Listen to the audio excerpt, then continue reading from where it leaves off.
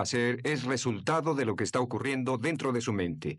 Este es el concepto más imponente que haya descubierto, que cualquier persona haya descubierto. Puede cambiar en forma dramática las realidades externas de su vida, cambiando las actitudes internas de su mente. Como dijo William James, ya hemos hablado de las diferentes leyes. La ley de la creencia, que sus creencias se convierten en sus realidades, que ve al mundo en términos de que lo que piensa es verdad al respecto. Las creencias crean el hecho real. Lo que una persona, un hombre o una mujer piense con su corazón es lo que serán. También sabemos que la ley de la correspondencia dice que su mundo exterior siempre corresponderá con su mundo interno. Eso significa que hay algo en su mundo interno que corresponde con todo en su mundo externo. El gran Emmett Fox dijo esto cuando habló sobre el equivalente mental. Dijo que todo en su vida externa tiene un equivalente mental en su vida interna. Cualquier cosa que quiera ver diferente en su vida externa primero debe proporcionar el equivalente mental en forma interna. La ley de la atracción dice cualquier cosa que se guarde en la mente en forma continua se atrae, ya que sus pensamientos dominantes establecen un campo de fuerza, de energía que lleva hacia su vida a las personas y circunstancias que necesita. Mencioné esto por este motivo. Muchas personas dirán, ¿cómo conseguiré un mejor trabajo, una mejor relación? ¿Cómo encontraré la información que necesito la educación, etcétera? No tiene que preocuparse por ello. Lo que debe hacer es tenerlo tan claro como el agua en su mente y lo desencadenará y entrará al flujo de estas leyes mentales universales y todo lo que necesite será llevado a usted exactamente conforme lo vaya necesitando y en la forma exacta en que lo necesite. Vamos a hablar en esta sesión, ya hablamos del concepto de sí mismo antes, dijimos que el concepto de sí mismo es el grupo de creencias dentro de usted que determina todo lo que le pasa. Su concepto de sí mismo es la suma, el resultado total de toda la información que siempre ha tomado sobre sí mismo y su mundo y aceptada como cierta se convierte en parte de su concepto de sí mismo. Su concepto propio es el mecanismo interno correspondiente que determina lo que le pasa. ¿Qué significa? Significa que el cambio comienza con un cambio en su concepto de sí mismo.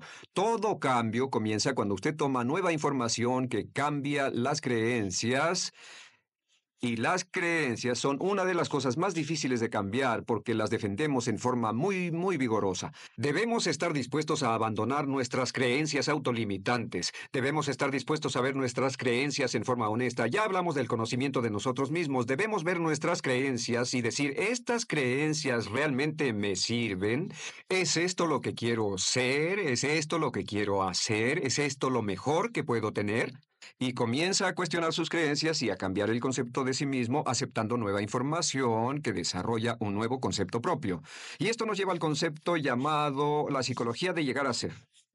La psicología de llegar a ser dice que cada uno de nosotros estamos en un estado de crecimiento continuo y de cambio. Sus conceptos de sí mismo y sus creencias cambian todo el tiempo. Por ejemplo, cuando era niño creía un cierto número de cosas del mundo adulto, cuando fue adolescente otro, cuando cumplió los 20 años otro, y al crecer y evolucionar cambiamos nuestras creencias y nuestros conceptos, cambiamos nuestra autoimagen, cambiamos la forma en que vemos el mundo, y estamos en el proceso de llegar a ser todo el tiempo que está ocurriendo. Es casi como esto, es como una hiedra. Evoluciona y cambia todo el tiempo, pero siempre en dirección hacia su meta dominante.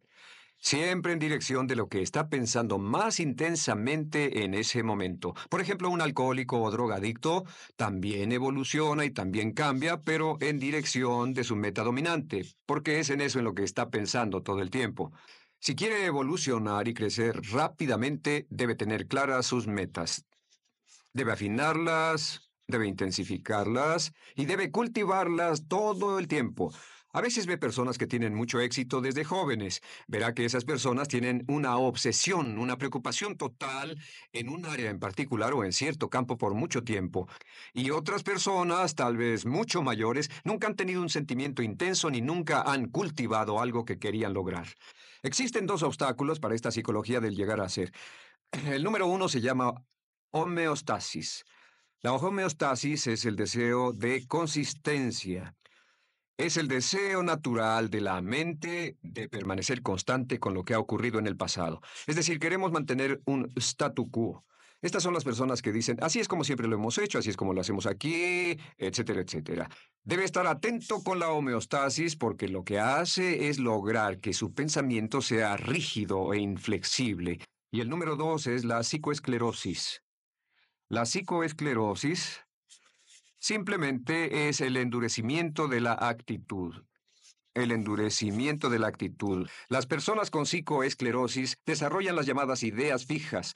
Las ideas fijas llevan a la rigidez y a la renuencia al cambio. Ambas conducen a quedarse atorado en la zona de confort.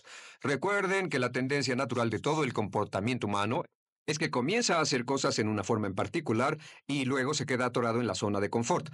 Puede quedarse atorado en la zona de confort en una relación, aunque no esté feliz, en un trabajo, aunque no esté satisfecho, en un nivel particular de ingreso, aunque no sea suficiente. Debe combatir la zona de confort porque esta zona muy pronto se convierte en rutina. Y dicen que una rutina se convierte en una tumba. La única diferencia entre una rutina y una tumba es la profundidad.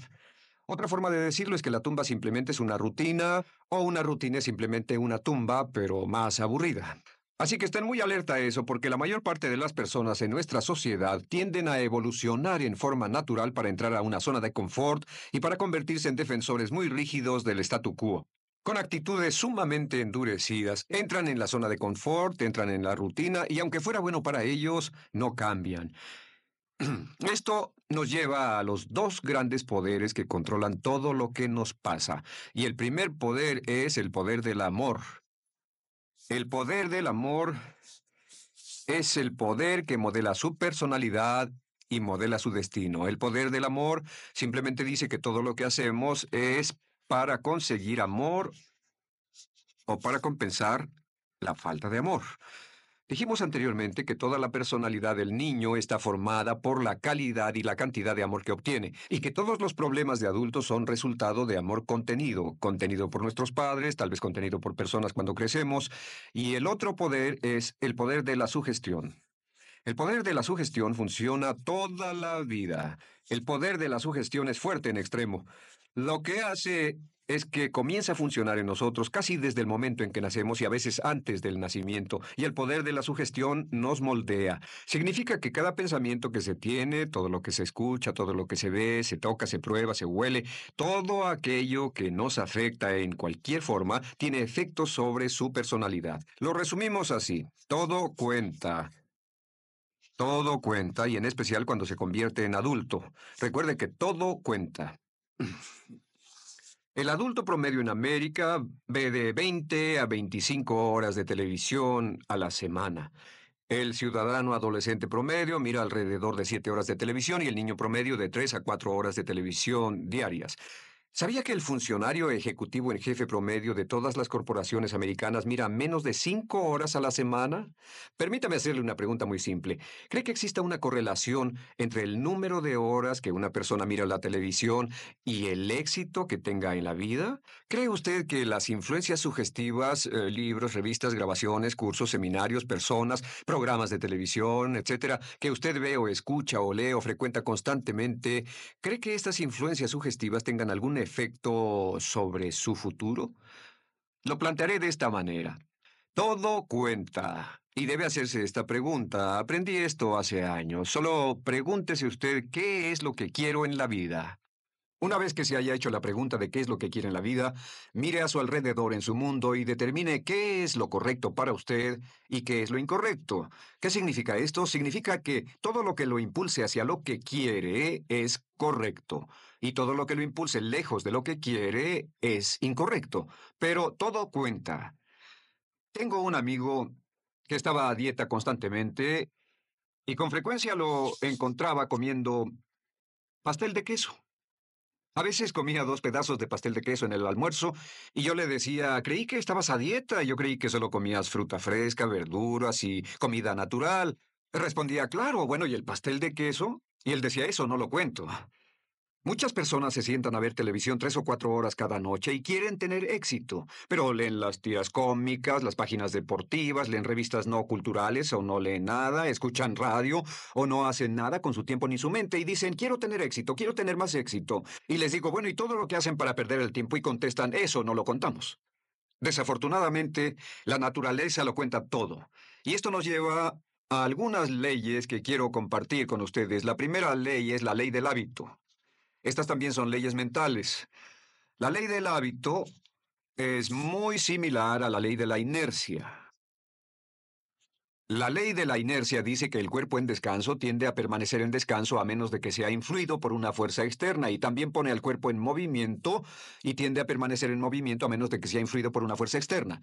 La ley del hábito dice que en ausencia de una decisión específica de su parte, para cambiar cierto aspecto de su vida, la tendencia natural es continuar en el mismo camino indefinidamente.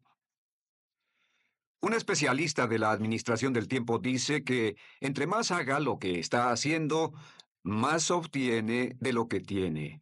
Así que tiene que ver lo que tiene y tiene que ver lo que está haciendo y decir, ¿es esto lo que quiero? Continuará en la misma dirección a menos de que tome una decisión muy concreta y específica de cambiar. También hay otra ley llamada la ley de la emoción. Y por cierto, antes de entrar en la ley de la emoción, déjenme decir esto, que casi un 95% de lo que hacemos es por costumbre. La única diferencia importante entre las personas de éxito y los fracasados es que las personas de éxito tienen hábitos de éxito y los fracasados hábitos de fracaso. Por ejemplo, ¿han oído el dicho de que al que madruga Dios lo ayuda? ¿Y tienen más salud, bienestar y sabiduría? Bueno, ¿por qué será? ¿Por qué será que las personas con éxito se levantan temprano? ¿Por qué quieren aprovechar el día? Y también por eso se acuestan más temprano por la noche. No desperdician las tardes, que es cuando están más cansados y menos productivos. Así que verá una y otra vez que los hombres y mujeres de éxito se acuestan temprano y se levantan temprano. Tienen hábitos de éxito. ¿Por qué algunos no se acuestan temprano y no se levantan temprano?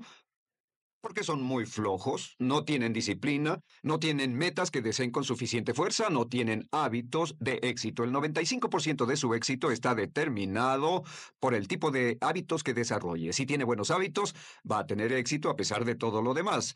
La ley de la emoción dice esto. Dice que todas las decisiones que toma están basadas en la emoción. Antes decíamos una y otra vez, las personas son un 90% emocionales y un 10% lógicas. Uno de los grandes descubrimientos que he hecho durante mis investigaciones es que las personas son un 100% emocionales. Ni siquiera somos un 90% emocionales. Todas las decisiones que tomamos son decisiones emocionales. Si alguien dice es lo lógico por hacer, lo que significa es que hay una mayor emoción invertida en ello, aunque suene lógico. La ley de las emociones dice que todas las decisiones que tomamos son emocionales y dice esto, la emoción más fuerte domina a la emoción más débil. Una emoción más fuerte domina una emoción más débil. Así que la emoción que sea más fuerte será la emoción dominante y determinará lo que usted hará. Todas las acciones están determinadas por la emoción que predomina en ese momento. Cualquiera que sea la emoción más fuerte, si es temor, el temor dominará lo que haga. Si es deseo, el deseo determinará lo que haga.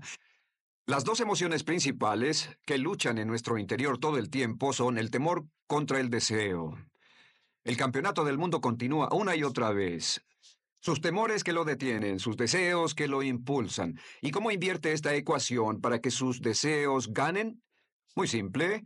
Usa la ley de la concentración y piensa en lo que quiere todo el tiempo. Cultiva lo que quiere todo el tiempo. Mantiene su mente fija en su deseo. Se preocupa totalmente por lo que quiere y, como ya dijimos, sus temores tienen la tendencia de menguar. Pero sea lo que sea en lo que piensa, si piensa en sus temores o si piensa en sus deseos, en cualquiera de los dos que piense, la ley de la emoción va a determinar sus acciones y sus acciones van a determinar sus resultados. Esto nos lleva a otra ley que se llama la ley de la expresión. Esta ley de la expresión es muy interesante. Esta ley de la expresión se remonta hace muchos, muchos años y em, hay una cita de Aristóteles que dice, lo que está impreso es expresado. Lo que está impreso es expresado.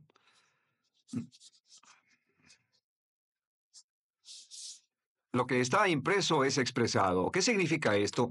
Permítanme sentarme mientras limpian el pizarrón. Simplemente significa esto. Lo que está impreso en su psique por cualquier razón, de cualquier fuente, lo que está mezclado con la emoción y puesto en su concepto propio, eventualmente será expresado como parte de su personalidad y parte de su realidad. Dice, en efecto, que usted ve el mundo a través de su concepto propio. Realmente usted ve su concepto del mundo. O sea que no cree lo que usted ve, sino que ve lo que usted cree. Lo que haya sido impreso en su mente como un hecho o como una verdad, como una realidad, estará expresado entonces en su realidad o estará expresado en su mundo porque eso es lo que verá. Si cree que cierto tipo de personas son buenas, entonces verá bondad en esas personas. Si piensa que los miembros de un partido político en particular son tontos, todos los miembros de ese partido político le parecerán tontos, aún los más sabios y los más inteligentes. Si cree que hay oportunidades en todas partes, verá oportunidades en todas partes. Si cree que tiene un control total de su propio destino, entonces verá indicaciones de ello. Si piensa que es popular, valiente, confiado, una persona convincente, entonces actuará de una manera de acuerdo con eso y todo eso lo verá a su alrededor. Hace poco estaba leyendo una historia muy interesante. Un joven que venía de familia pobre y que no tenía confianza en sí mismo fue convencido por una adivina de que era la reencarnación de Napoleón Bonaparte. Una historia maravillosa y cierta. Resulta que él comenzó a creer que era la reencarnación de Napoleón Bonaparte y fue a la biblioteca y estudió su vida, sabía todo sobre Napoleón y comenzó a caminar y hablar y a actuar como Napoleón y a pensar como Napoleón, comenzó a, a imaginar grandes planes que solo Napoleón imaginaría, comenzó a actuar con valor y confianza frente a la incertidumbre como Napoleón lo hubiera hecho, y con el tiempo él se convenció totalmente de que esta persona que era tímida e introvertida realmente era la reencarnación de Napoleón. Su carrera mejoró, lo promovieron, ganó más, cambió su forma de vestir, hablaba con más confianza, y cuando esta persona descubrió que la adivinadora lo había engañado, se había convertido en un hombre de negocios de mucho éxito. Muy interesante, ¿no? Lo que está impreso en su interior y se acepta, siempre se expresa. Y esto nos lleva a otra ley mental crítica. Y es esta. Es la llamada ley de reversibilidad. Cuando me enteré por primera vez de esta ley, yo estaba tan emocionado que quería esconderla, guardarla y no decírsela absolutamente a nadie. Esta es la primera vez en cualquier forma que entrego esta ley a otras personas. La ley de la reversibilidad simplemente dice, si logra un cierto nivel de éxito, un cierto nivel de salud, una cierta calidad en la relación, entonces esa calidad en la relación creará un estado subjetivo un estado subjetivo significa sentimiento, un estado emocional. En otras palabras, si gana un premio, se sentirá usted un ganador. Si se enamora, se sentirá como un amante. Si tiene éxito en los negocios, se sentirá todo un éxito. El objetivo crea. En otras palabras, la realidad objetiva o el hecho realmente crea el estado emocional o subjetivo. ¿Le parece lógico? En otras palabras, algo pasa, se siente genial, tiene esa sensación. Sin embargo, la ley de reversibilidad dice, si logra entender esto, este hecho por sí mismo puede cambiar su vida, pues cambió la mía es que si puede crear artificialmente el estado subjetivo o el sentimiento, el sentimiento desencadenará la ley de atracción y correspondencia y la pondrá en movimiento y llevará a su vida a las personas, a las circunstancias y oportunidades necesarias para crear el objetivo que sea congruente con lo subjetivo. Y este es el método. Es tan simple que es sorprendente, es este. Cuando piense en algo que realmente desea, imagine que ya lo tiene. Imagine que ya lo tiene. La verdad suena como un juego de niños, pero es tan poderoso que inspira temor y todo lo que le sugiero que haga es que lo intente un momento. Solo imagine, cierre los ojos, piense en ello, continúe pensando y si es necesario póngase de pie, relájese, lo que quiera. Solo imagine que ya logró eso y sienta usted la sensación. Sienta la sensación como si ya fuera un éxito, como si fuera tiempo pasado y como si ya lo hubiera logrado. No tiene que preocuparse, ya percibió esa sensación. Y si tiene esa sensación una y otra vez, esta ley de reversibilidad creará este sentimiento y al cultivarlo cada vez más, la sensación realmente comenzará a cambiar las cosas en su interior y en su exterior y lo impulsará hacia su meta o la meta hacia usted y el objetivo se hará realidad en el momento y el lugar exactos. No tendrá que preocuparse del proceso entre los dos o de cuáles son los pasos a seguir. Todo lo que tiene que hacer es mantener esa sensación en forma muy, muy intensa. Hablaremos de eso cuando pasemos a los métodos de programación mental. La siguiente ley es la ley de la práctica. La ley de la práctica también se llama la ley de la repetición y esta ley dice que haga lo que haga una y otra vez, a menudo se convierte en un nuevo hábito. ¿Quiere ser eh, una persona entusiasta y positiva? ¿Quiere volverse rica y exitosa? ¿Qué es lo que quiere en la vida? Lo que desee en la vida, si lo practica una y otra vez, Eventualmente se vuelve un nuevo hábito. Si lo practica pensando en ello, un nuevo hábito toma como unos 21 días en desarrollarse. Tarda 21 días en desarrollarse un nuevo hábito. Toma 21 días de repetirse una y otra vez. Ahora, lo que vamos a pedirle que haga como resultado de este curso y como resultado de lo que hablamos es, le vamos a pedir o sugerir que se someta a lo que llamamos la dieta de la AMP de 21 días. Eso significa que por 21 días vamos a pedirle que haga una cosa muy difícil, una de las cosas más difíciles que va a hacer en su vida. Por 21 días quiero que mantenga su mente en lo que quiere y la aleje de lo que no quiere. Mantenga su conversación en lo que quiera y manténgala lejos de lo que no quiera. Mantenga sus sueños, su imaginación, sus pensamientos, sus sentimientos, todo en su ambiente, consistente con lo que desea, y manténgalo lejos de lo que no desea. Es muy simple, no es complicado. Y es una de las cosas más difíciles que va usted a hacer. ¿Por qué escogimos 21 días? Por una buena razón. Eh, le toma 21 días a una gallina que tiene el cerebro del tamaño de un chícharo sentarse pacientemente, con calma y fielmente sobre su huevo para empollarlo. Y pensamos que si una gallina con un cerebro pequeño como ese puede sentarse sobre un huevo por 21 días sin ver ningún cambio, solo por la fe, Solo por la fe, 21 días va a quedarse sentada. Entonces podemos pedir a los adultos, que tienen el cerebro del tamaño de 3 libras, que tienen de 12 a 20 mil millones de células, y tienen la capacidad de recordar y retener todo el conocimiento aprendido por el hombre, aunque parezca mentira, podemos pedirles que piensen en ello 21 días. Si se propone tener una actitud mental positiva, por 21 días, mantenga su mente en ello. La meta es convertirse en lo que llamamos una persona puramente positiva una persona puramente positiva. Porque si es una persona puramente positiva, si sus conversaciones, sus actos, sus relaciones son puramente positivas, lo que llamamos una persona PPP, y lo practica por 21 días, encontrará que su vida cambiará. Todo alrededor de usted cambiará, su salud, sus relaciones, su trabajo, sus oportunidades y lo demás. Es simple, pero no es fácil. Si puede hacerlo, si puede practicarlo, se convertirá en un hábito. La misma ley de reversibilidad, la misma ley de la emoción, la misma ley de los hábitos realmente comenzará a cambiar. ¿Y cuáles son las cuatro cosas que necesita con el fin de lograr este cambio? La número uno es necesita deseo. El deseo es el punto inicial de todo cambio. La pregunta más importante que debe hacerse en la vida es ¿qué tanto quiere lo que quiere? ¿Qué tanto lo quiere? O si realmente lo quiere.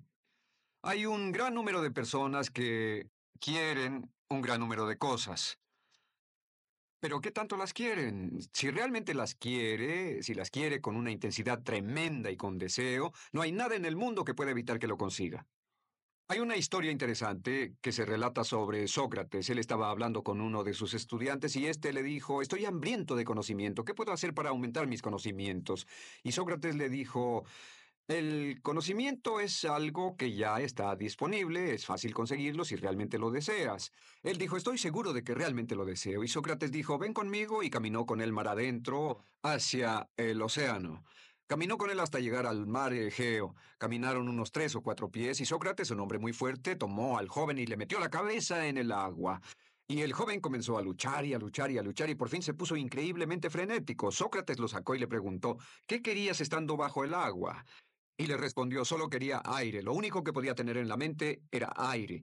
Y le dijo, cuando quieras el conocimiento con la misma intensidad con la que querías el oxígeno, tendrás todo el conocimiento que desees. Así que cuando desea algo con gran intensidad y teniendo el deseo, lo conseguirá. El segundo paso es la decisión. Una y otra vez, cuando viajo, Descubro que los cambios importantes en la vida de una persona comienzan cuando toma una decisión. También descubro que la gran mayoría de las personas son increíblemente indecisas, están muy renuentes a tomar decisiones, a reducir sus opciones, están muy, muy renuentes a hacer algún compromiso de cualquier tipo, y si no hacen compromiso solo van a la deriva. Desafortunadamente se condenan a sí mismos a vivir por la ley del accidente. El siguiente paso es tomar una decisión muy clara e inequívoca de que esto es lo que quiere. Está dispuesto a pagar el precio para conseguirlo. Hay un librito muy interesante llamado El secreto último por Michael Hernacki y dice que la llave del éxito, y él ha estudiado a muchas personas, muchas personas de éxito, que la llave del éxito simplemente es esto, es que esté dispuesto a hacer lo que sea necesario que esté dispuesto a hacer lo que sea necesario. Esté dispuesto a hacer lo que sea necesario. Eso significa que una vez que ha tomado la decisión, esté dispuesto a llegar hasta lo último. Esté dispuesto a hacer lo que sea necesario. Lo interesante es que nunca tiene que hacer todo lo necesario, pero debe estar dispuesto a hacerlo. Y es una decisión inequívoca, hacer o morir, que completa un compromiso del 100% y que marca toda la diferencia en su éxito. La mayoría no está dispuesta a hacer ese compromiso. Cuando les hablan de ese compromiso, se echan para atrás y dicen, no lo quiero, pero no estoy dispuesto a hacer esto, o no me moveré, no volveré a la escuela, no puedo sacrificar esto, etc. Por ejemplo, he hablado con muchos padres eh, que han hecho enormes sacrificios para que la madre pueda quedarse en casa con los niños durante sus primeros tres o cinco años. Y los amigos dicen, están locos, necesitan dinero, no pueden viajar, no van a poder pagar las cuentas cuando solo uno de los dos trabaja. Y ellos dicen, sí, pero nuestra decisión es darle a nuestros hijos los mejores cimientos, la mejor base emocional y sentimos que la forma de hacerlo es que la madre esté en casa con los hijos, así que estamos dispuestos a hacer sacrificios. Claro, cada uno debe tomar sus propias decisiones respecto a los sacrificios que quiere hacer. Lo tercero es la determinación. La determinación significa apoyar sus planes, por así decirlo, con mano de hierro. Una vez más, todos los estudios que he visto, y he pasado en el curso de mi vida, he pasado casi 30.000 horas eh, estudiando el tema de éxito personal y corporativo, y es que la mano de hierro es importantísima en la determinación y disponibilidad cuando la situación se pone difícil.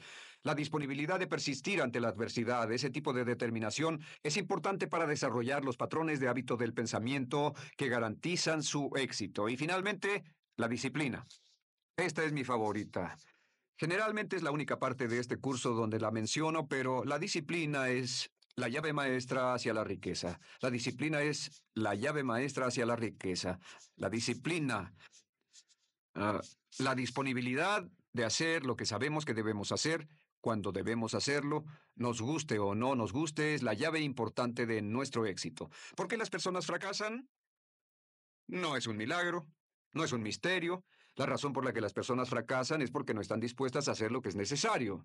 No quieren pagar el precio. La mitad del tiempo, las tres cuartas partes del tiempo, no saben lo que quieren, y aquellas que lo saben no son capaces de disciplinarse. Así que cuando esté viendo la televisión, o cuando conduzca oyendo el radio en lugar de oír programas instructivos grabados, deberá preguntarse en forma muy honesta, pensando en la maravillosa vida que puede disfrutar y pensando en todas las cosas que quiere, ¿esto me lleva hacia ello o está alejándome de ello?